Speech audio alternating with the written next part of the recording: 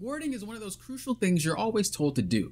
Get vision, use pink wards, yellow wards, red trinket. But let me tell you this, most of the time you go ward, I bet you have no meaning behind the ward. Whether you're iron or challenger, we start to become complacent about where we're warding and why, and just put them down anywhere. When you start to become complacent about wards, you start to die to ganks more often. You start to lose dragon, you start to lose baron, and ultimately you start losing your games. I guarantee you, by the end of this video, you're no longer gonna lose games ever because of warding. I mean, you might lose because of other stuff, but that's a whole nother video entirely. Now, before we get started, let's ask ourselves, what exactly is a ward for? It's to gain information. So wards are going to be generally to gain information. That's all it is, right? And at the end of the day, what is League of Legends? It's a game of decision making, right? So why do we need information? We can use this information to make better decisions. That's all it is. That's all it is. So when you put down a ward, ask yourself, is this going to give me information to make a better decision about what I want to do?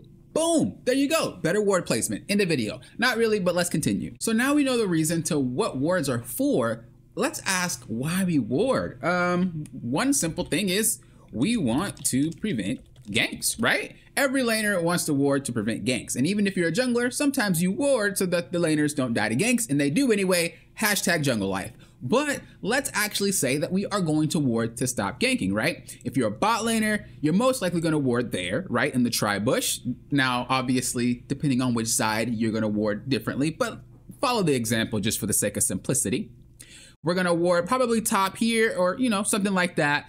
And if we're top lane, we're probably going to ward, I don't know, maybe like right here, maybe down there. Um, that's pretty much what, you know, let's just do blue side. So, you know, if we're on blue side, we're probably going to ward right there. Something like that. This is your common ward spots for every single laner.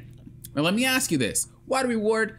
We want to you, you, just one of the reasons is I don't want to die to a gank. If I'm top lane, I don't want the jungler coming to clap my cheeks. Period. So now you as a laner just have it all figured out, right? You understand, bro. You're not clapping my cheeks. I'm unclappable.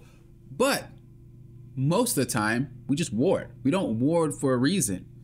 If their jungler is Kayn, these wards aren't going to do anything. If their jungler is Rek'Sai, these wards aren't going to do anything. If their jungler is Hecarim, oh, dude, he about to run right over those wards and you're not going to be able to do anything about it. Remember, you have to ward with intent. If you understand what you're going to get ganked by, it's easier to ward for the game. If I know their jungler is Udyr and he started bottom, he's going to full clear. He needs to be level 4 before he pops out. Some Udyrs are crazy. No, junglers sometimes a little mental and they will pop out before but commonly they will get level 4 first to have all their abilities. Now we know they full clear, one thing to think about is the Scuttle Crab spawns at 330, right?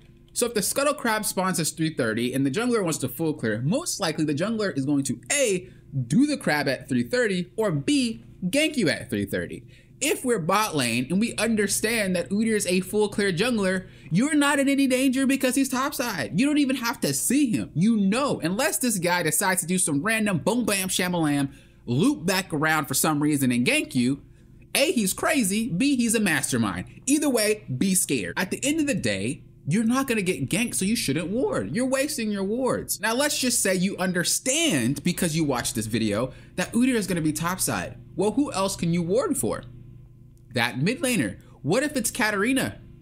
Maybe she's going to roam down. So instead of warding that tri-bush that you think they're all going to walk through, ward maybe where Katarina would walk through. So maybe as a support or an ADC, just kind of walk through and put a ward right there.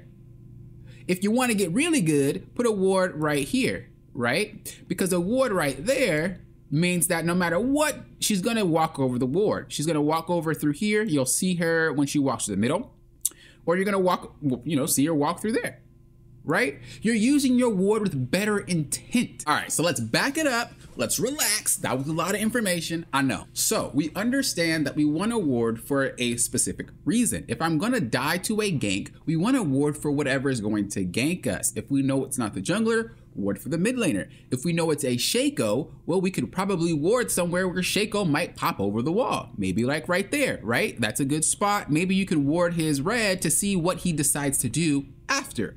These are things you can ward for because these type of champions have these tendencies. If it's a fast champion, you can't ward close to your lane no matter which laner you are because by time you see them, it's too late. They are fast. Think of Hecarim, think of Lilia. These are really fast champions, which means that by time you see them, you're dead. You want to ward a little bit further out so that way you can see them coming and, you know, avoid the gank entirely. So again, if you're warding for that gank, if you're warding to not die, you want to ward for what you're going to get killed by. There's no reason to have a default ward location or a default warding plan. Think about what's going to get you and then ward for what's going to get you. It's that easy. Let's move on to the second reason of why we ward, right? Most of the time, we want to ward for objectives. So let's put that down. Objectives, right? What are objectives? For the most part, early game especially, it's going to be more or less dragon slash uh, grubs. You know, that's pretty much what it's going to be. Period. Nothing else. Dragon, grubs. You're going to ward for that, right? Now, this one's going to be a little bit creative because you're going to have to learn the junglers and sometimes top laners like Yorick, thirsty selves for them grubs. They're going to have to learn that these type of champions tend to do these type of things. Again, we're talking about tendencies. So if we're thinking about Udyr or Shyvana, what are they going to do? Dragon, right? So no matter what role you are, unless you're top, good luck. No matter what role you are, maybe ward for the dragon and think about we're gonna fight for that dragon. Remember, wards are to gain information. What is League of Legends? Decision making. Ward to gain information on dragon. If you notice Shyvana doing it, Udyr doing it, and you know you're strong, then you can use that information to go get them and get yourself a free kill and maybe your team a free dragon. You're warding for a reason. I don't think y'all hear me. Y'all not giving me an amen. You're warding for a reason. You want to make sure that every word you place is has a specific meaning behind it. Now let's move on to the mid game, mid and late game. So mid and late game, for the most part, what are you warding?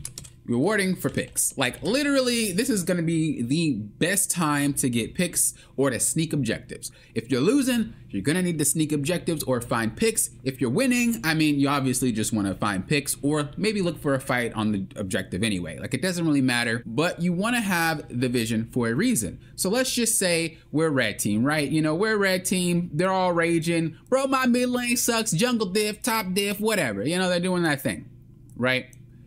And you're losing.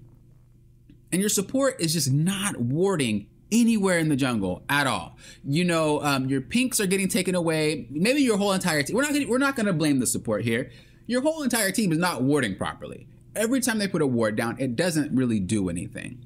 Well, what happens when a winning team decides to do an objective? They usually all go for it. Let's just say, okay, we're gonna do Baron. Look at them. Oh my God, they're doing Baron. Don't look at it as a negative thing, especially when you're losing, because this means that bot side is free. So whether you're the jungler, the mid laner, the top laner, one of you guys take initiative and be like, all of you guys are top side.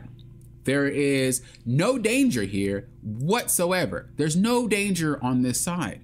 What am I afraid of? So let's just say you're an ADC. Well, you know, my whole team's dumb, but you know what? What we're gonna do is we're gonna walk in. Maybe we can get a pink ward here, or maybe somewhere back there, something like that, right? And then you are pinging your team to come over. So now your team's coming over. We're preparing for Dragon. Perfect. Your top laner, the, you know, top laners top laners don't care about nobody. But you know, you're like, okay, let's get Dragon.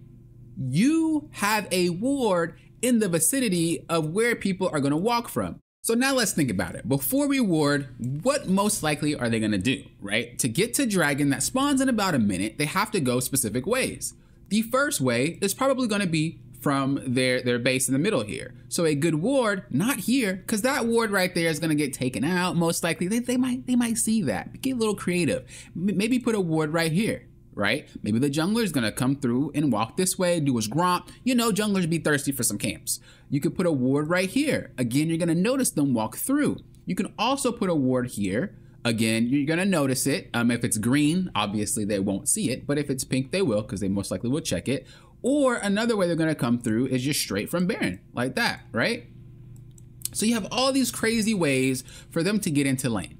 If they come through this way, you're going to see them on minions, obviously. No sane person without minions are just going to go like that. That's weird. Nobody does that.